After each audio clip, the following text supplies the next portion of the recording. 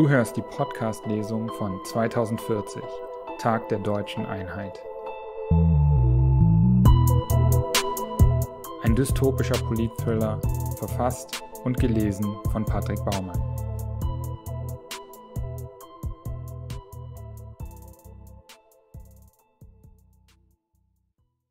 Kapitel 17 Wischnewskis Büro Matuschek muss zugeben, die Aussicht ist beeindruckend.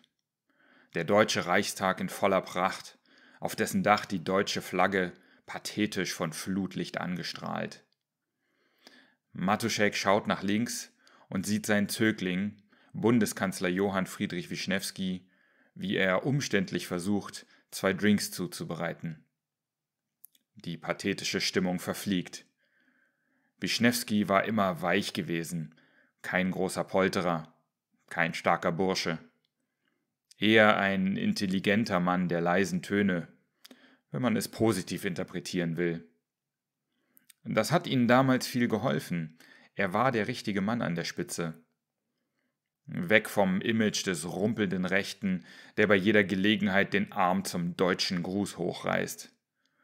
Das passte zum moderaten bürgerlichen Image, das die PAD nach außen verkörpern wollte mit dem sie es über die Jahre geschafft hat, langsam und geduldig Mehrheiten für ihre Positionen zu gewinnen. Ja, die PAD und er, Matuschek, müssen Wischnewski dankbar sein. Er hat seine Rolle gut gespielt. Gerade weil er keine Rolle spielen musste, sondern wirklich moderat war. Man könnte fast sagen liberal. Jetzt jedoch gilt es zuzuschlagen. Alles haben sie vorbereitet für die nächsten Wochen. Die Volksabstimmung wird das Land verändern und ihnen die Macht sichern, die sie brauchen, um Deutschland wieder zu dem zu machen, was es einmal war. Ach was, größer, wichtiger, die Nation, unter deren Führung die Welt prosperieren wird. Doch dazu benötigen sie eine harte Hand, und die hat Wischnewski weiß Gott nicht. Matuschek war immer nachsichtig mit Wischnewski. Doch mittlerweile widert ihn dessen Schwäche an. Er beobachtet, wie Wischnewski einen Schluck des teuren Whiskys verschüttet, den Matuschek zu ihrem Treffen mitgebracht hat. Wie er ihn mit fahrigen Handgriffen aufwischt. Wie er in den Eiskübel greift. Kein Eis, ruft Matuschek und darauf sofort wieder zurückzuckt. Nur einen kleinen Spritzer Wasser dazu, Endlich ist Wischnewski fertig und trägt die beiden Kristallgläser zu Matuschek. Vergisst, zwei Untersetzer bereitzustellen und hinterlässt beim Abstellen der Gläser zwei feuchte Spuren auf dem gigantischen Couchtisch, der den deutschen Steuerzahler etwa den Betrag eines Kleinwagens gekostet haben muss. Matuschek weiß schon ziemlich genau, warum Wischnewski ihn zu diesem Treffen gebeten hat. Und der Grund widert ihn an. Ich bin besorgt, Cord. Wischnewski zieht das Ende des Satzes wie eine Frage nach oben, runzelt die Stirn und schaut Matuschek fragend an, was seinen teigigen, weinerlichen Gesichtsausdruck nur verstärkt. Ich bin besorgt, was unsere Freunde vorhaben. Matuschek nickt dankend und nimmt das Glas. Was genau meinst du? Herr Weston hat Andeutungen gemacht bezüglich der Volksabstimmung. Er sagte, es seien unter Umständen wirksamere Maßnahmen nötig, wenn wir die Umfragewerte nicht gedreht bekommen. Was meint er damit? Matuschek riecht genüsslich an seinem Whisky, dann nimmt er einen Schluck. Der rauchige Geschmack verteilt sich warm in seinem Mundraum. Was glaubst du, was er meint? Ich befürchte schlimme Dinge. Weston hat in der Vergangenheit schon häufiger solche Andeutungen gemacht. Ich fürchte, er will Menschen zu Schaden bringen, das Gesetz brechen. Er hat es nicht explizit gesagt, aber ich habe die Sorge, dass er vielleicht ein Attentat. Das ist Unsinn, entgegnet Matuschek scharf. Sag so etwas nie mehr in meiner Gegenwart. Was meint er dann? Ich musste an den Anschlag auf den Hauptbahnhof damals denken. Das hat uns politisch sehr geholfen, so schrecklich es war. Und es gab immer Zweifel, ob es wirklich Islamisten waren. Was, wenn da etwas dran ist? Er hält einen Moment inne und denkt nach. Meine Güte, das wäre furchtbar. Das würde alles ändern. Cord, sag mir, dass daran nichts ist. Schluss damit. Du redest dir da etwas ein. Ich habe keine Ahnung, wovon du sprichst. Ja, wir brennen alle für die Sache. Wir haben eine historische Chance. Aber wir sind keine Unmenschen. Du hast da sicher etwas falsch interpretiert. Wischnewski ist noch nicht überzeugt. Ich mache mir wirklich Sorgen. Ich weiß, wir haben ein historisches Projekt vor uns. Wir retten dieses Land, keine Frage. Aber es gibt Grenzen, die dürfen wir nicht überschreiten. Der Zweck heiligt doch nicht alle Mittel. Das haben wir damals nicht gemeint, als wir uns schworen, alles für die deutsche Sache zu geben, oder? Natürlich nicht, Johann. Kord Matuschek setzt die vertrauenserweckendste Miene auf, die er hat. Lass mich mit Ranjit reden und die Sache klären. Wir werden das schon hinbekommen. Das Volk ist auf unserer Seite. Wir müssen nur dafür sorgen, dass die Diskussion über die Parteispenden weggeht. Das schadet uns am meisten. Und was wollen wir dagegen tun? Du wirst weiter alles leugnen. Zu keiner Zeit Kenntnisse, bla bla bla. Der übliche Kram. Es sind nur noch ein paar Tage, Johann. Nach der Abstimmung ist es egal. Dann bestimmen wir, was wahr ist und was nicht. Wischnewski schaut ihn weiter unsicher an. Er ist sichtlich noch nicht überzeugt. Doch Matuschek sieht auch Hoffnung in Wischnewskis Augen. Hoffnung darauf, dass alles gut werden wird, wenn er, Matuschek, das sagt. Keine Sorge. Ehe du dich versiehst, wirst du der letzte gewählte Kanzler der Bundesrepublik Deutschland sein. Das Einzige, was wir von dir brauchen, ist, dass du weiterhin zuversichtlich bleibst. Keine Unsicherheit in der Öffentlichkeit. Wir wissen, was wir tun, und wir haben uns nichts vorzuwerfen. Wir machen Deutschland wieder groß. Vertrau mir. Ich weiß, dass du das kannst. Seine Worte haben Wischnewski sichtlich aufgerichtet. Der Kanzler nimmt einen Schluck von seinem Whisky, verzieht das Gesicht und richtet sich auf. Danke. Du hast recht. Ich, ich weiß auch nicht, was mit mir los ist. Du kannst weiterhin auf mich zählen. Aber bitte, sprich mit Weston und stell sicher, dass er nichts Unrechtes plant. Das wäre des deutschen Volkes nicht würdig. Keine Sorge, da ist nichts. Ich spreche nachher mit ihm. Matuschek steht auf. Ich muss los, ich will heute noch auf den Hof zurück. Bleib stark, Johann. Bald werden wir feiern. Danke, Cord. Ich wüsste nicht, was ich ohne dich tun würde. Ich verdanke dir alles. Du kannst dich voll auf mich verlassen. Sie umarmen sich und klopfen einander auf die Schultern. Matuschek verlässt das Büro.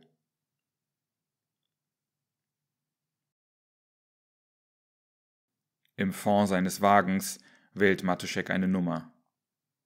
Matuschek hier. Sie hatten recht. Er schafft es nicht. Dann müssen wir es leider so machen, wie von Ihnen vorgeschlagen. Die Person am anderen Ende der Leitung erwidert etwas. Ja, Sie haben mein Okay. Veranlassen Sie alles weitere.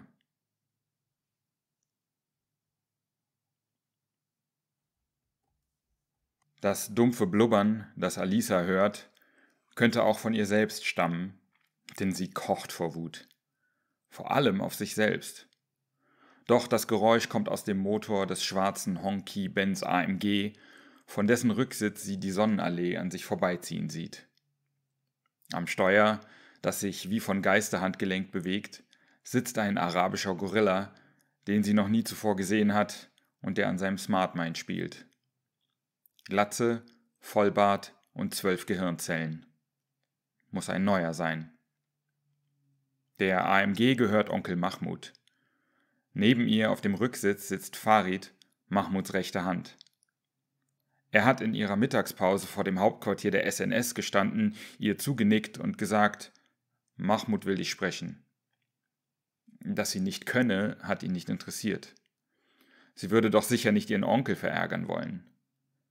Alisa hat sich kurz umgeschaut, ob Kollegen sie sahen, und war schnell in die Limousine gestiegen. Jetzt ärgert sie sich darüber, dass sie sich so reflexhaft gefügt hat. Es geht einfach nicht, dass Onkel Mahmoud sich so in ihr Leben und ihre Arbeit einmischt. Familie hin oder her. Der AMG hält vor einem Café, über dessen ganze Breite eine Digitalanzeige angebracht ist, auf der der Schriftzug Café Morgenland 2 in bunten Farben animiert vor sich hin wabert. Als Kind hat Alisa sich oft die Geschichte anhören müssen, was mit dem Café Morgenland 1 passiert war. Böse Menschen hätten einen Brandsatz in das Café geworfen. Später hat sie von Gerüchten gehört, dass der Alfasi-Clan zuvor mehrere Drogen- und Gelddepots einer konkurrierenden Gang überfallen hatte. Der Anschlag auf das Café war ein Racheakt. Wer böse ist, ist Ansichtssache. Der Gorilla stellt den Motor ab, steigt aus, geht um den Wagen herum und öffnet Alisa die Tür. Sie steigt aus und hat sofort den süßlichen Geruch der Shishas in der Nase, an denen einige der Männer vor dem Café nuckeln. Die Männer schauen sie verstohlen an. Keiner macht einen dummen Spruch, wie sie es wohl machen würden, wenn sie aus ihrem eigenen Wagen steigen würde. Aber die Braut hier steigt aus dem Wagen von Mahmoud Al-Fasi. Und die Typen vor dem Café sind vielleicht einfach gestrickt, aber nicht lebensmüde. Farid macht eine Kopfbewegung in Richtung des Eingangs und Alisa betritt das Café. Drinnen herrscht ein ähnliches Bild wie draußen. An runden Tischen sitzen einige Männer, langweilen sich, diskutieren lauthals, rauchen Shisha oder sogar Tabakzigaretten. Die gleichen verstohlenen Blicke, als sie Alisa bemerken. In der Ecke sitzt ihr Onkel Mahmoud mit einem seiner Männer.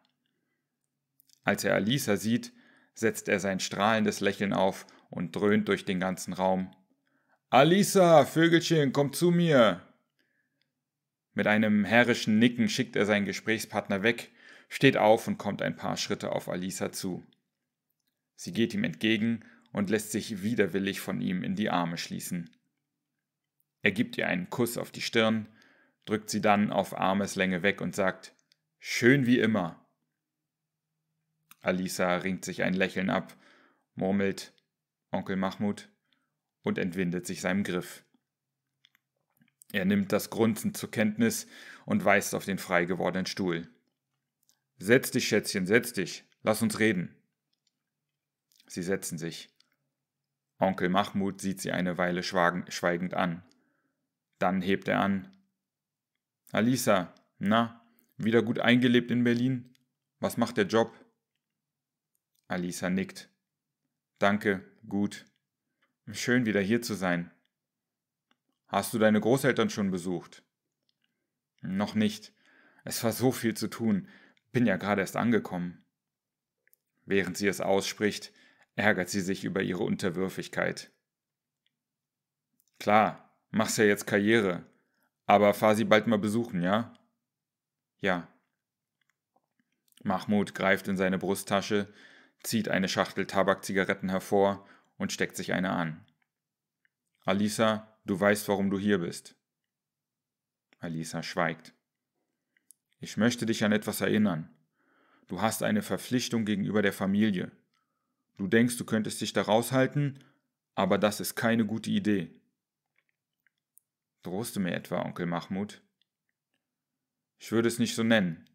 Ich helfe dir einfach ein bisschen auf die Sprünge. Vielleicht hast du uns ja vergessen, während du weg warst. Schön wär's, murmelt Alisa. Was? Nichts. Gut, jetzt mal im Ernst. Wir haben dich nicht umsonst zur Polizei geschickt und deiner Karriere ein bisschen auf die Sprünge geholfen. Meinst du, das ist alles von alleine gelaufen so schnell, wie du nach oben gekommen bist? Alisa rollt mit den Augen. Ich weiß, dass ich einen guten Job mache. Ich habe das aus eigener Kraft geschafft. Ich war fleißig. Ja klar, und deshalb wird eine kleine Araberin gleich eine Kandidatin für den gehobenen Dienst. Er schmunzelt und klopft die Asche von seiner Zigarette ab. Mädchen, versteh doch, wir sind eine Familie, voila, wir halten zusammen. dein Fleiß in allen Ehren. Wir haben dich ja nicht umsonst ausgewählt. Aber ohne die Familie bist du nichts. Er schaut sie eindringlich an und entfernt das Dauerlächeln aus seinem Gesicht. Und jetzt drohe ich dir. Ich muss nur mit den Fingern schnippen und deine Karriere ist schneller vorbei, als du Quotenmigrantin sagen kannst. Alisa merkt, wie ihr warm wird und ihr Gesicht zu glühen anfängt. Warum? Warum muss das so sein? Das ist so ungerecht. Sie spürt, wie ihr die Augen feucht werden und ihr ein Kloß in den Hals steigt. Verdammt, jetzt bloß nicht anfangen zu weinen. Sei wütend, nicht schwach. Sie schluckt den Kloß hinunter und reißt sich zusammen. Was willst du? Erzähl mir doch einfach mal, was ihr so macht bei der SNS. Das scheint ja ein ganz interessanter Laden zu sein. Die SNS bekämpft Terrorismus.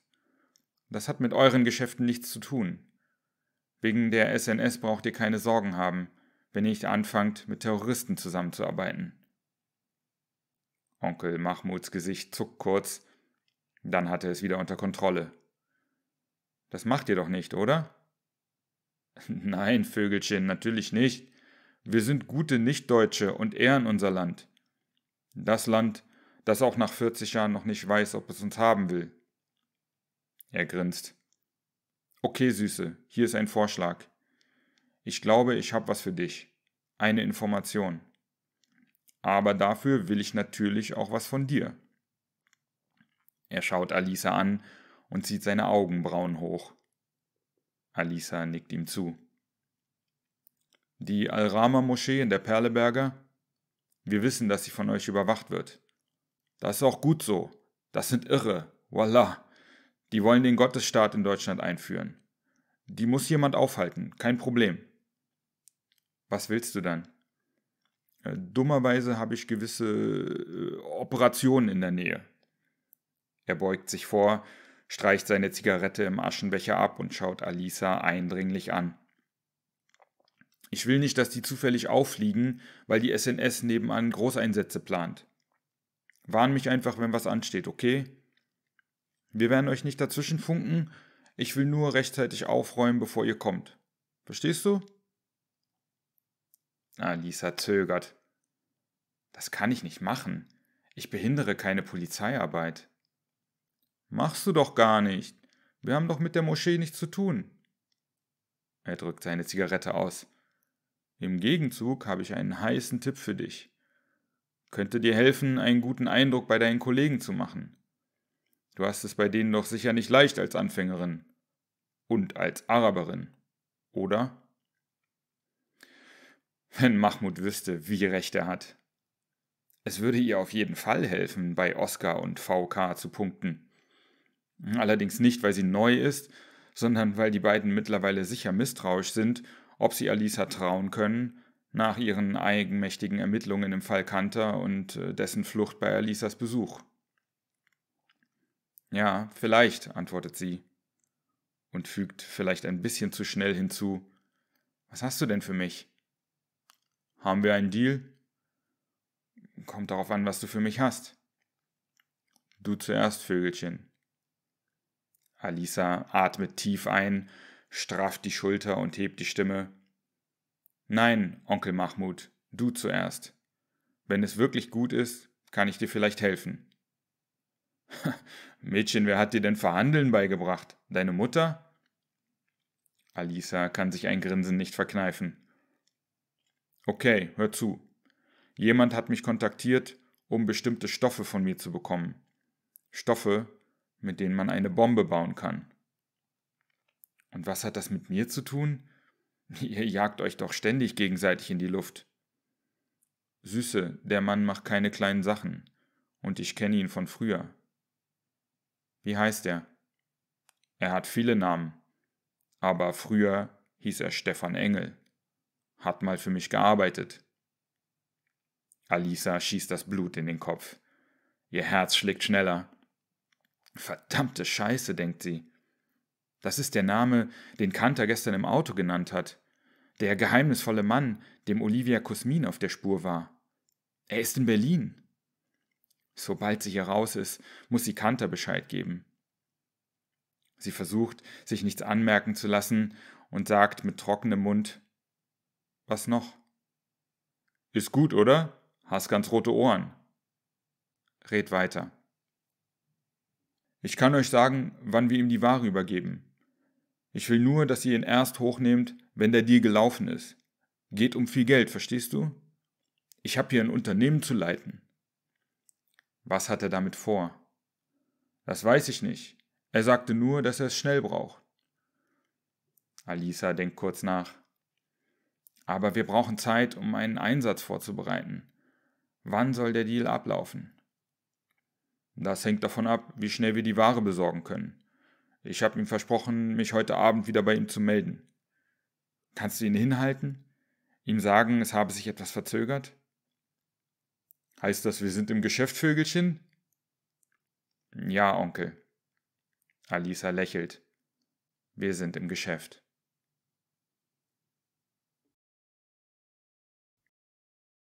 Ich dachte mir gleich, dass es riskant ist, Engel den Sprengstoff bei den Alphasis beschaffen zu lassen.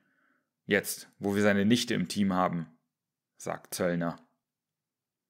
VK kann es kaum fassen. Das fällt Ihnen ja früh ein. Ich hatte es Ihnen doch gesagt.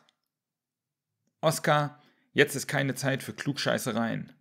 Wenn Sie so sicher gewesen wären, dass es ein Fehler ist, hätten Sie stärker intervenieren müssen. Jetzt ist es, wie es ist, und wir machen das Beste daraus. Was hat Elas genau gesagt? Dass sie von ihrem Onkel Informationen über eine bevorstehende Sprengstofflieferung an eines seiner ehemaligen Gangmitglieder hat und dass sie empfiehlt, ihn bei der Übergabe hochzunehmen. Das kommt nicht in Frage. Das ist klar, Frau von Koblitz. Die Frage ist nur, was sage ich ihr? Ich mache mir Sorgen, dass sie eine Ahnung hat. Was schlagen Sie vor? Wir könnten die Lieferung an Engel ungehindert zulassen und sie mit einem Sender versehen. Vordergründig, um herauszufinden, was Engel damit vorhat. Und ich überwache den Sender zusammen mit der ELAS. Und dann sagen wir Engel, wo der Sender ist? Genau. Wenn wir ihn dann hochnehmen wollen, finden wir nur den Sender, sonst nichts. Gar nicht so schlecht, Oskar. So machen wir es. Briefen Sie die ELAs und veranlassen Sie alles weitere. Wird gemacht. Und was machen wir mit der Journalistin? Ich weiß, Sie brennen darauf, Ihren Fauxpas wieder gut zu machen. Wir unternehmen aber erst einmal nichts. Die Frau ist noch nicht wieder bei Bewusstsein und wir haben jetzt unsere eigenen Leute vor Ort. Sobald sie reden kann, sind wir die Ersten, die das mitbekommen. Es wäre zu verdächtig, wenn ihr direkt nach diesem erneuten Angriff etwas passiert. Lassen wir die Wogen sich etwas glätten. VK nickt. Zöllner dreht sich um, um VKs Büro zu verlassen. Eins noch. Ja, die Zahnbürste. Was? Die Zahnbürste, mit der Kanter Elas bedroht hat. Ja, äh, was ist damit? Laut Aussage der JVA Moabit erhalten die Insassen Zahnbürsten einer anderen Marke. Das, das würde ja bedeuten, dass. Genau. Soll ich. Von Koblitz sieht ihn scharf an. Langsam, langsam. Regeln Sie alles für die Übergabe des Sprengstoffs. Danach sehen wir weiter. Stefan Engel hat sich nach dem Besuch bei Mahmoud Al-Fasi von einem Bokar am Holocaust-Denkmal absetzen lassen und spaziert jetzt die dunklen Stelen des Denkmals entlang. Über sich sieht er einen Schatten schweben. Eine Drohne der Berliner Polizei, eine sogenannte Secu-Drone. Wie ein Kolibri steht sie einen Moment unbewegt in der Luft. Dann steigt sie nach oben und fliegt davon. Er geht weiter, vorbei an den Souvenirläden und den Buden mit Original German Döner Kebab, biegt dann links in die Wilhelmstraße ab und spaziert an der britischen Botschaft vorbei, um wiederum rechts in die Straße unter den Linden einzubiegen und ihr zu folgen. Am albernen Protzbau des neuen Berliner Schlosses vorbei, bis die Straße ihren Namen in Karl-Liebknecht-Straße ändert. Dort erreicht er einen Checkpoint der SNS. Schwere Betonblöcke blockieren den Bürgersteig für Fahrzeuge. Mehrere Sicherheitsgassen sind für Fußgänger eingerichtet, die sich ausweisen und danach durch einen Bodyscanner gehen müssen, um auf den Alexanderplatz zu gelangen. Um der bedrohlichen Kulisse einen freundlichen Anstrich zu geben, sind die Gerätschaften und Absperrungen in fröhlichen Pastelltönen gehalten: hellgrün, hellblau und orange. Auf großen Infoscreens erklären animierte Figuren, wie man sich zu verhalten habe und dass das alles überhaupt kein Problem sei. Nur ein kurzer Check für eine sichere Welt. Die Figuren sehen aus wie geschlechtslose Kinder. Der international anerkannte Code für Harmlosigkeit, gerne eingesetzt in absolut nicht harmlosen Situationen. Engel schnaubt verächtlich. So läuft das. Mach den Leuten Angst mit übertriebenen Sicherheitsmaßnahmen und wiege sie dann mit Bonbonfarben und Kindercomics in scheinbare Sicherheit. Zuckerbrot und Peitsche der Terrorismusabwehr. Maximale Verunsicherung der Bevölkerung garantiert, genau wie deine Wiederwahl, weil du für Sicherheit sorgst. Ein SNS-Mann in hellblauer Kampfmontur prüft Engels ID auf dessen Smartmind und grunzt. Herr Stevenson, auch er spricht den Namen in seiner englischen Sprechweise aus. Engel nickt. Ja. Der SNS-Mann schaut ihm prüfend ins Gesicht, reicht ihm dann sein Smartmind zurück und bedeutet ihm mit einer Kopfbewegung, dass er passieren könne. Engel geht ohne Probleme durch den Bodyscanner und verlässt den Checkpoint auf der anderen Seite. Kurz darauf meldet sich sein Smartmind. Anruf von Schneiderei Al-Fasi. Annehmen, sagt Engel. Ja? Ich habe Neuigkeiten für Sie, gute und schlechte. Und zwar, wir können alle gewünschten Stoffe beschaffen, das ist die gute Nachricht. Und die schlechte? Es wird einige Tage dauern. Wie lange? In zwei, drei Tage, wenn alles glatt geht. Lässt sich das nicht beschleunigen? Äh, leider nein. Sie haben ja recht exklusive Ware bestellt, wenn ich das so sagen darf. Na gut, sorgen Sie dafür, dass es nicht länger dauert. Aber sicher, ich melde mich bei Ihnen, sobald ich einen genauen Termin nennen kann. Haben Sie einen schönen Tag. Sie auch. Engel beendet das Gespräch.